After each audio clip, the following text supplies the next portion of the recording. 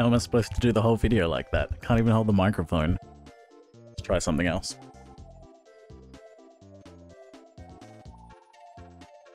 That's better. Can you tell who I am?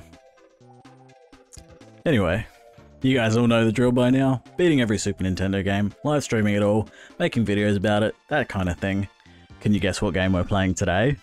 I'll give you a quick hint. It involves this pink puffball, that angry artist, and the cutest damn animal companions you've ever seen. Move over, Pikachu. I'd rather chill with Nago. That's right, we're playing Mild's Dreamland 3.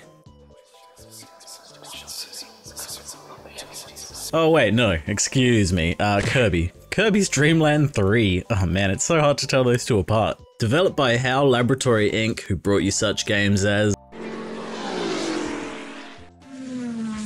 But really the only game that matters is...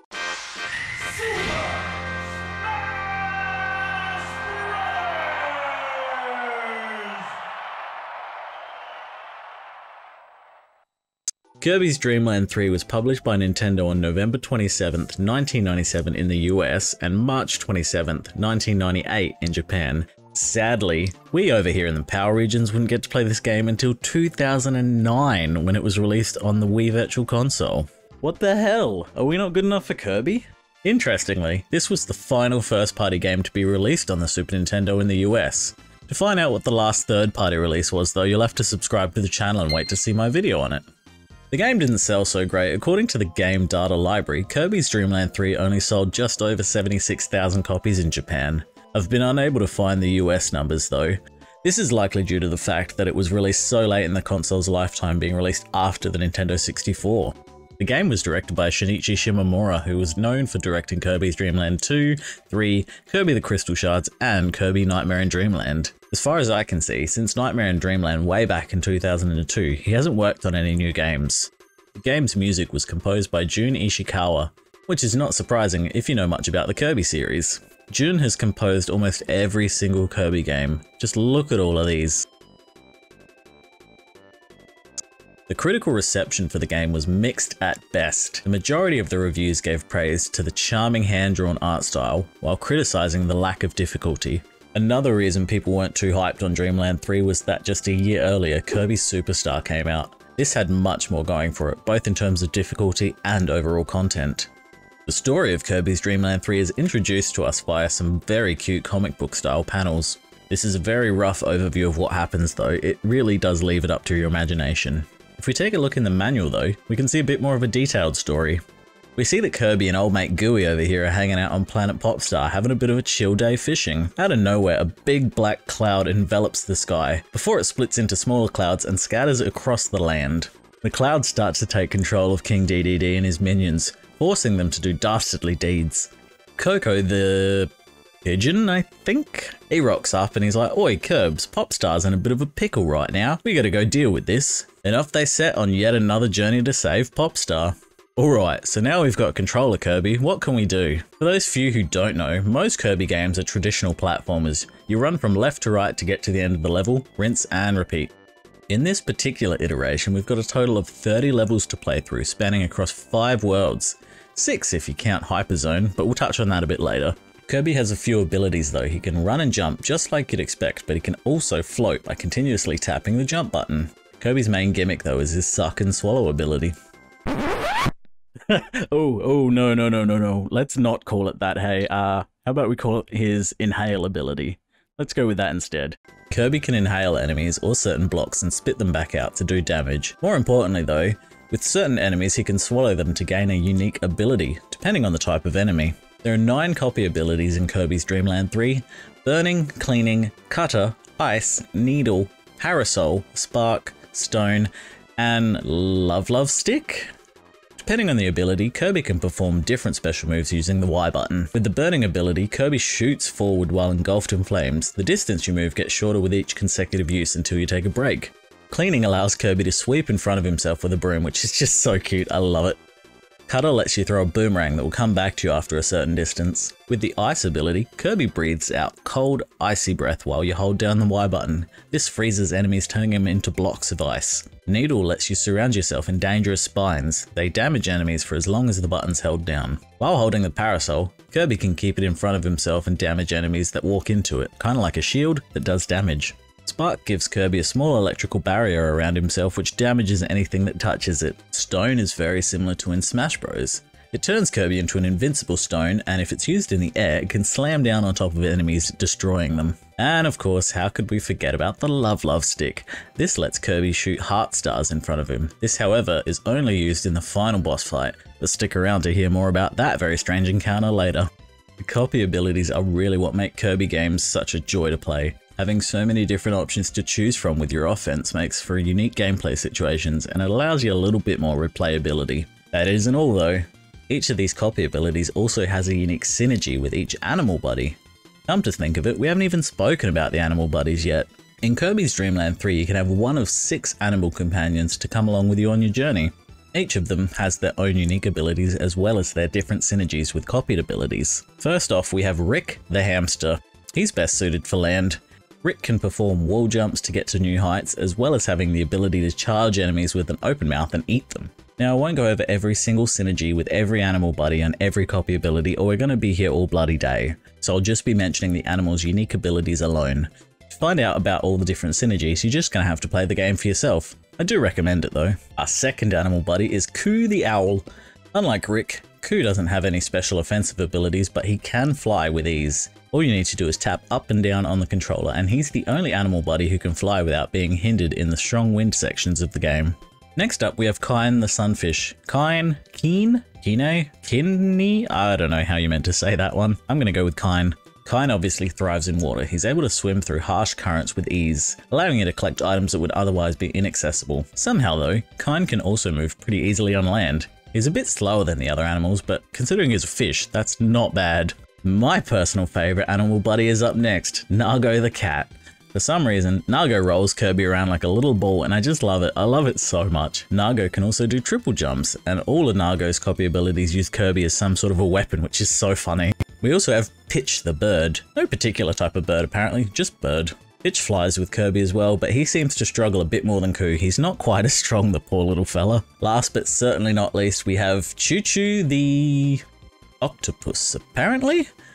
Are you sure about that? Uh, it doesn't look like an octopus to me, but uh, whatever. Choo Choo the octopus. Choo Choo has the unique ability that allows Kirby to swallow enemies while underwater, as well as being able to walk on ceilings. Also, I just love that when you're playing as Choo Choo and if you suck up an enemy, rather than Kirby doing the inhaling, Choo Choo just reaches out one of her long tentacles and nabs them. It looks so funny.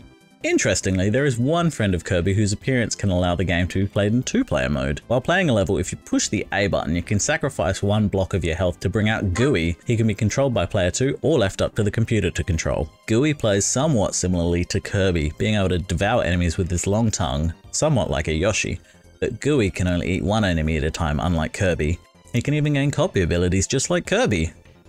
If you're in a bit of a pinch and you're about to die, you can also suck Gooey up and eat him again to regain one point of health. Poor Gooey. I didn't utilize this awesome feature anywhere near enough in my playthrough, I just kept forgetting about him. I also didn't really know what he did. Anyway, I think I've gone on far too long. Let's hop into the gameplay. We started out in grassland and immediately I was confused. What the f- What was that? I have no idea what's going on. I just know you can eat people. I very quickly discovered the joy of animal companions, while still being a little bit confused. Look at that cat, it's adorable. And that hamster? What is that? Can you come back? Are you a friend? I don't know what the hell that thing is. For some reason, I didn't even try to do anything with our little buddies here, I just left them alone. So my first criticism of the game came up very quickly. In this game, to run, you need to double tap forward rather than just having a dedicated run button. This never got any less annoying to me, I really didn't like that. I found it to be annoying throughout my entire playthrough. Not enough to ruin the game or anything, but it was just a bit of a nitpick. At the end of the level, we ran over to some flowers. I really smushed them down into the ground. It felt good, like real good. But then I came across a sad flower. I didn't think anything of it at the time. Turns out, there are missions in each level of Kirby's Dream Land 3, and the mission for this level was simply, don't smush the damn flowers. But how was I supposed to know? They just look so smushable. If you complete a level mission, you're awarded with a heart star. These will come up again later, so just remember that. After completing the level, I got my first attempt at a bonus game. Kirby swings his arms back and forth. You need to time your jump just right and land on the item you want to receive. Of course, I screwed this up and I got nothing. Level 2 starts out with a bunch of different enemies you can absorb to test out the different power-ups. I like this, it's a good way to show early on in the game what Kirby's capable of. I came across more animal friends, but still was not smart enough to figure out how to get them to join me. Soon after, I had a realization. This game is kinda confusing if you don't read the manual. What are all these things? Nothing is intuitive, I don't know what's going on.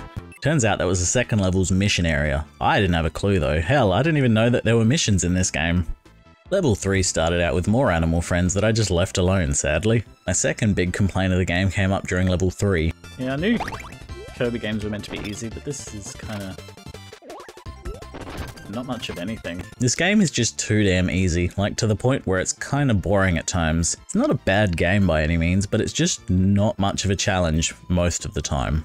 Level 3's mission was the first of its kind. There was a little fella throwing these different stone enemies. You had to see it and pick it from a lineup afterwards. If you're too slow or you weren't paying attention, you fail, much like I did. These are a little bit tricky if you're not expecting them. They start as soon as you enter the room, so you really need to be on your toes, paying attention whenever you enter a new room. Finally, I learnt how to get an animal friend to join. It only took me four levels to figure it out. Our first companion for the journey was Choo Choo the Octopus. At the start of level 5, I discovered my favourite power-up combination, and the thing that kinda ruined the game for me a little bit. Being able to literally just fly through levels above all the enemies is kinda broken if you ask me. It takes away a lot of the challenge of these levels. Obviously, I decided to abuse this power-up though by flying through levels 5 and 6. It took a bit of damage because I suck at flying, but Kirby just has so much health it didn't really seem to matter, and quickly I was heading into the boss stage of World 1. Wispy Woods. Wispy is a giant tree who angrily throws fruit, or puffs of air at Kirby. You can catch the fruit and throw it back at Wispy. Took me a minute to figure out what to do though. I was throwing fruit at him and it wasn't doing any damage. That was until I accidentally threw something at his face, and then he finally took some damage. After a couple more hits, I was thinking, this sure is easy. But then, this absolute nightmare fuel decided to show up and scare the hell out of me. The rest of the boss fight was still super easy though. We did our little dance and we flew off to World 2, Ripple Field. It wasn't until level 2 of World 2 that I finally managed to complete one of the level missions, although I didn't exactly realize what I'd done or why. And in level 3, I realized you could equip other animal companions. I didn't have to play the entire game just hanging out with Choo Choo. So we proceeded with the aid of Kine the Sunfish. Having Kine made the water section somewhat bearable finally, as your swimming speed without him is really disgustingly slow. During level 4 of World 2, I had my first death of the game. I was getting way too cocky, thinking the game was just so easy, and I let my health get really low from just dumb mistakes, and eventually it caught up to me. During this level, I also came to the realization that you can fly forever regardless of your power-ups. I just hadn't tried it previously. Again, kinda broken just being able to fly over everything. I started out the next level gaining the friendship of the greatest animal companion ever. Oh shit! Oh, that's a game changer. Hell yeah. oh, that's sick. Before long, it was time to face off against the boss of World 2, Acro the Orca Whale. The fight starts out pretty easy with him rushing towards you, but if you manage to jump over him, he hits his head and all these rocks fall down.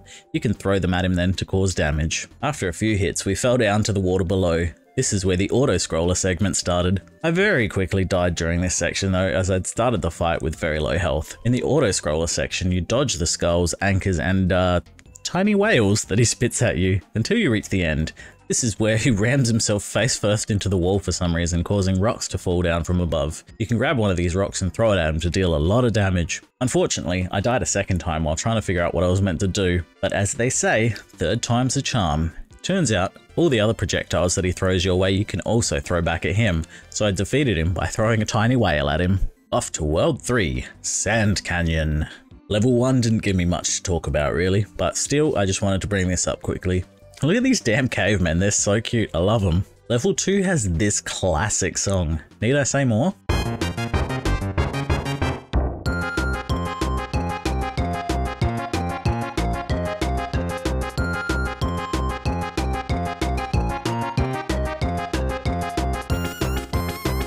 I noticed a big issue with my playstyle while playing through level 2. If you fly through all the levels avoiding everything, you have no chance to pick anything up. That includes health power-ups, extra lives, or anything else that you might come across. This means, even if you're getting hit only a few times each level, you're never finding anything to heal yourself back up, so you're going to die eventually.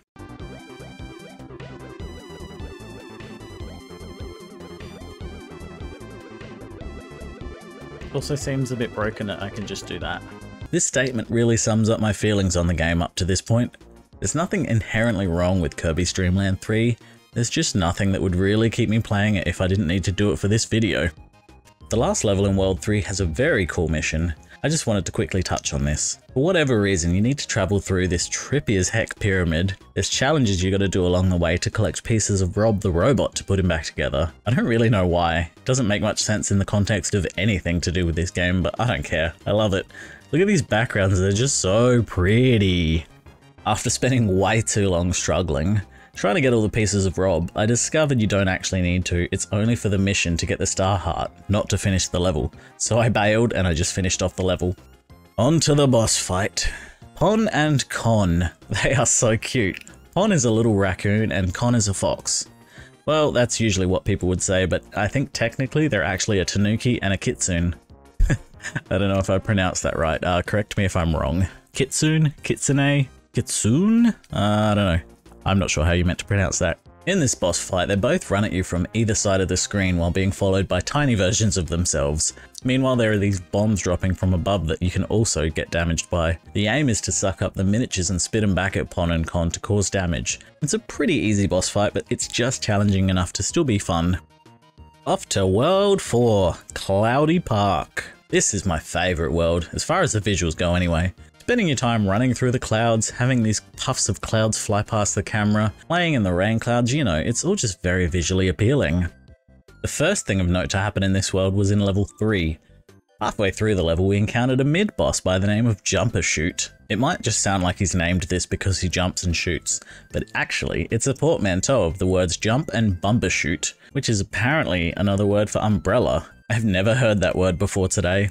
I absolutely love Jumper Shoot's design. He's based off the Japanese yokai Kasa Obake. They're usually depicted as umbrellas with one leg that they hop around on, one big eye, a long tongue, and they wear a Japanese sandal known as a geta. I've always really loved the design of Kasa Obake. There's just something very unusual about them that appeals to me. You've probably seen them depicted in quite a few Japanese video games if you really think about it, even if you haven't noticed. Jumper Shoot was pretty easy to beat though I took him out in only a few seconds. Nothing much of note happened again until we made it to the boss of this world. We've met this little fella before, this is Ado. Or is that Adeleine? Well, honestly, people aren't too sure. It's generally assumed that Ado and Adeleine are actually the same character and the name just changed between Kirby's Dream Land 3 and Kirby the Crystal Shards, but that's actually never been confirmed. This boss fight is genuinely really hard. Maybe the hardest part of the whole game, at least that's how it felt for me. The Ado fight starts out with her painting a picture of a little blue dragon. He comes to life and he attacks you, either by flying directly at you or shooting ice cubes at you. You can suck up these ice cubes and shoot them back at him to do some damage. Once you take out the dragon, you face off against an anglerfish who either shoots little balls of light at you, which you can't suck up, or he shoots stars at you, which you can, and then you can throw back at him. After the fish is when things start to get really hard though. You have to fight against this sun and moon at the same time. One will fly along the ground trying to ram you while the other flies above you shooting stuff down at you. If you manage to catch one of the projectiles from whichever one's on top, you can shoot it back at either of them to do some damage. The hard part about this is trying to get the top guy to shoot at you while you're far enough away from the bottom guy that you can actually grab the projectile without getting hurt. It's a bit tricky to explain, so just check out the footage, you'll see what I mean. If you take one out though, it changes the attack pattern to move diagonally up and down while shooting at you. It also moves faster now. If by some miracle you manage to survive the sun and moon fight, then you have to fight this weird Cyclops cloud. He shoots lightning bolts at you, and then occasionally he'll release miniature versions of himself that you can suck up and fire at him. Every time you die, you have to start the whole thing over, and this happened to me many, many times. After streaming Kirby's Dream Land for 2 hours and 34 minutes, I was getting a bit tired, I was kind of sick of dying to this same boss fight, so I decided to call it there for a day. The next day I was itching to get back to stream to finish off the game though. I think the fatigue was just starting to get to me on day one because this time I managed to defeat up to and including the Cloud on my first attempt.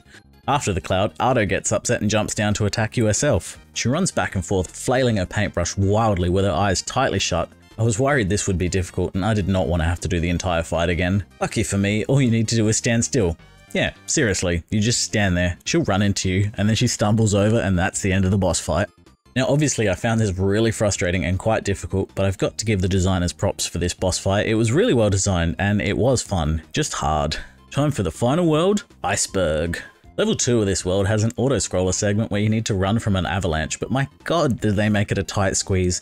By the end of that section, there's barely any room between yourself and the end of the screen. It really makes it hard to avoid the oncoming enemies. Also, look at this guy. This is so creepy for a Kirby game. My god. This level also has a great little easter egg. Some of the rooms you enter have little Metroids floating around in them and they'll jump on your head if you get too close. This doesn't do any damage though. The mission for this level was actually to freeze them, but I didn't realize that so I just whacked them into the lava waterfall uh, lava fall? Uh, I don't know. I guess there's no water, so it's a lava fall. When you reach the end of the level, Samus is there waiting for you. She doesn't move at all though. It's a little bit creepy. Level 4 is very odd. I think you're meant to be in an airship or something making your way through it. So you just go through room after room after room. There's little challenges in each room. Some are easy, some are just an enemy or two to take out, others are a bit more tricky. Then there's something like this nightmare room. Bam. Bam.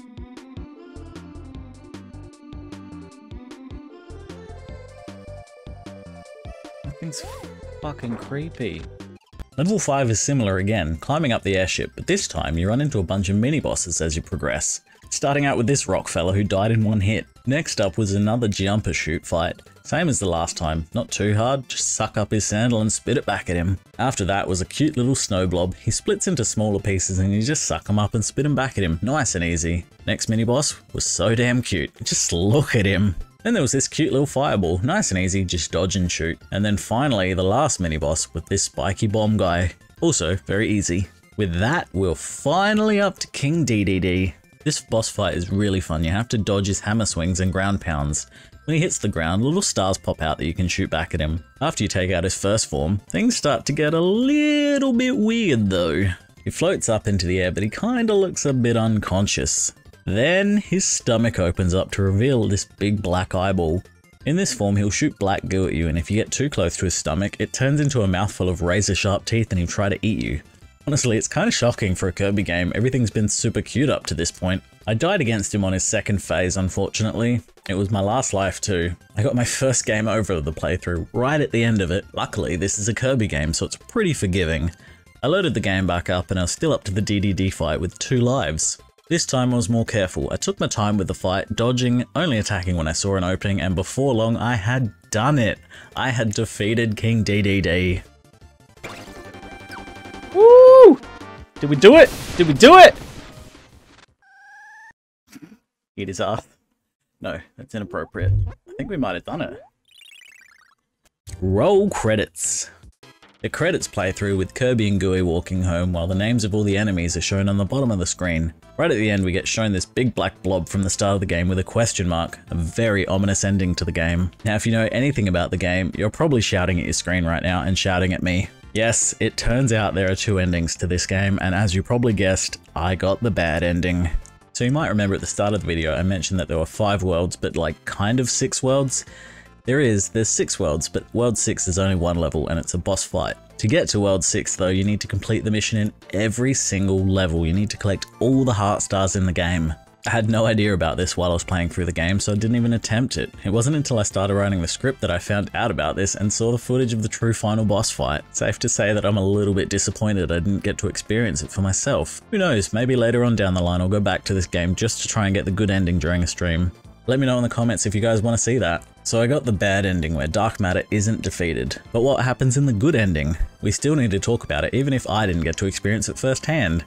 So in the good ending, once Kirby enters the final level, Hyperzone, all his heart stars combine to make the Love Love Stick, and then the true final boss fight begins. You first have to take out Dark Matter by shooting at him with the Love Love Stick. Once he's defeated, Zero appears, a gigantic eyeball who starts out shooting these tiny Dark Matters at you. Once you damage him enough though, things start to get a little bit dark, a little bit weird. He starts shooting balls of blood at you, Seriously, blood in a Kirby game? It's a bit odd. Once you damage him even more, his red pupil explodes out from inside of him in a pretty grotesque way. Just look at this shit. How the hell was this allowed in a Kirby game? I love it. Once you shoot his pupil a few more times, that's the end of the boss fight. Dark Matter and Zero are defeated. Roll the good credits. You get shown these cute scribbly drawings of all the bosses and all the animal friends with their names written there while cheerful upbeat music plays. I love it, it's really cute. I wish I'd gotten to experience it for myself. Lesson learnt. I need to do a bit of research on the games before I start playing so I don't miss out on the good bits like I did this time. So Kirby's Dream Land 3 is a decent game. There's nothing inherently wrong with it, like I've said before.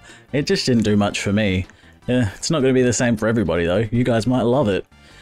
It's a chill platformer, you can get through it in an afternoon, so, you know, in some ways, it's got its place. If that's what you're after, a nice, quick, easy game, definitely. Just didn't work for me. For the gameplay, I'll rate this game a 6 out of 10. The controls feel a little bit off to me, like I mentioned earlier. Having a double tap to run doesn't feel good in a platformer. I often felt like my attacks would miss when they should have hit, you need to get really, really close to the enemies for some of the attacks, like the electric shock. It often leads to just walk into the enemies before you get a chance to hit the attack button, and it doesn't feel good. The difficulty of this game just feels a little bit low for my liking, for the most part anyway. I know it's a Kirby game and they're meant to be easy, accessible games for everyone, but it just felt kinda dull leaving more to be desired. Being able to ride along with the animal companions definitely ups the score a bit for me though. That's one of my favourite aspects of the game, not to mention the fact they all have unique synergies with different copy abilities. That's truly the heart of this game though, and most Kirby games. Having fun with all the different abilities. I certainly did enjoy that part of the game, so I would like to play this game again in future just to get the good ending. Mainly to see if it changes my opinion on the game. Maybe it'll feel a bit more balanced in difficulty if I'm not just racing through every level trying to get to the end as fast as possible. For the music, I'll give Kirby's Dream Land 3 a 6.5 out of 10. The music's fun, it's very upbeat and very cheerful. It's well suited to this kind of game. I don't think it has as many classic songs as some of the other games on the Super Nintendo. Not many songs really stuck with me after I finished playing it, except for of course Sand Canyon 2, a certified banger of a tune. Obviously having played hundreds upon hundreds of hours of Smash 64 as a kid, that tune is totally ingrained in my brain permanently. There is no denying though that that is a great song regardless of where you first heard it or how many times you've heard it before. The graphics are the best part of the game for me. They're a 7.5 out of 10. The visual style of this game is cute, its sort of sketchy hand-drawn aesthetic is perfect for a Kirby game. That's one thing Kirby games always have going for them. The art style is always unique and really cute. It feels purposeful, like they didn't just go for whatever was easiest to make or what everyone was doing. They had a unique art style for their games and I really like that. I didn't really even get to touch on the character design in the rest of the video, but it's amazing. The enemies are all unique and well designed. There are so many cute memorable characters. Like look at this little guy, he's just rowing his boat. It's so cute. The animal companions of course have great designs too. They're all unique and memorable. They feel like companions you want to have joining you on a mission not just some companions you have to bring along. And of course, the darker elements popping up towards the end are just cool as heck. I love the possessed DDD monster with his stomach jaws. How cool is that? Overall, the game gets a 7 out of 10 in my books. It's a decently fun time, it doesn't overstay its welcome, and it does what it sets out to do. It's just not really a game I see myself going back to very often. Thank you all so much for watching right through to the end of the video and thank you so much for your patience while I've been making this video. It's fairly new to me still, I'm learning a lot about the process and how to make it more efficient, so hopefully they'll get faster in the future. I've started up streaming again, but now here on YouTube. Keep an eye on your sub page and see if you can catch a stream. It'd be really fun to have some more people in the streams. The few people who've come along have been really great to hang out with. I try my best to post in the community tab beforehand to give you guys a bit of a heads up for when I'll be live, but sometimes I don't know until half an hour before, so just keep an eye out. If you miss any streams and you want to catch up on them later, I do have them all organized in a playlist on my channel. They're pretty easy to find, but I will leave a link in the description to make it even easier. If you have any friends who you think would enjoy my videos, maybe send them a link. It'd really help out a ton, just like if you were to like this video and subscribe to my channel, wink wink. Anyway, that's enough plugging my own channel. Alright, so now the only reason you guys have stuck around this long after the main video is finished, to find out what we're playing next. Well, as is today's theme, not doing my research properly, I thought the next video was going to be Wario's Woods, but as I started writing the script, I found out I haven't really beaten the game. I'd only beaten half of the game. There's a whole other section I hadn't even done yet, so I'm gonna have to go back to that on stream later. So instead, our next video is gonna be Mortal Kombat. That's pretty exciting if you ask me. I do love Mortal Kombat.